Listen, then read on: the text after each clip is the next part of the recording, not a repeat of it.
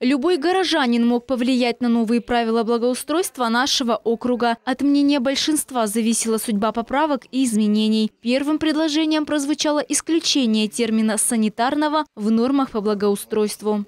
Термин санитарное содержание сегодняшний день, к сожалению, а, на мой взгляд, это моя правая позиция, а, в действующем законодательстве не раскрыт. И отсутствие четкого трактования понятия санитарное содержание может привести к тому, что, э, я уже озвучил, это и коррупционные проявления, и э, значит, разночтение правил применения данных э, правил благоустройства. В итоге это предложение поддержали, но в основном привыкшие к пока еще действующим нормам уссурийцы не спешили поддерживать нововведения. И на каждое предложение об изменениях возникали вопросы, которые требовали разъяснений.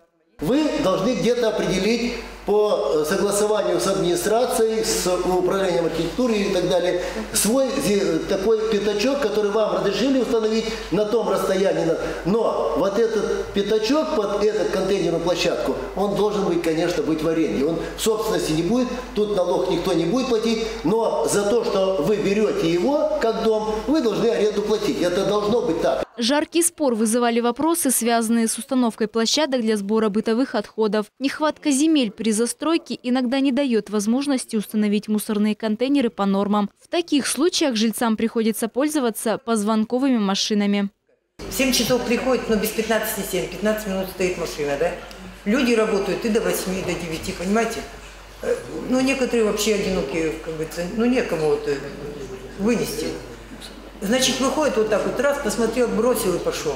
Все, и мы ничего не можем сделать. Для тех жильцов, где контейнерные площадки стоят с нарушениями санпинов, юрист предложил брать земельный участок в аренду. Но в пример привели нестационарные объекты, которые благополучно пользуются территориями без выделения отдельного участка.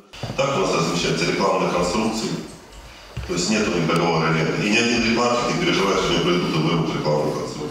Так у нас размещаются нестационарные торговые объекты, то есть киоски, то есть не оформляется земельный участок, потому что разливать землю, ставить на кадастр, выделять 2 квадратных метров, это затраты, это непонятное вложение. Отдельными пунктами закреплены правила озеленения, а также благоустройство улиц и дорог. На очередном заседании Думы правила с внесенными поправками депутаты округа рассмотрят и утвердят. Надежда Якушенко, Сергей Удовиченко, Телемикс.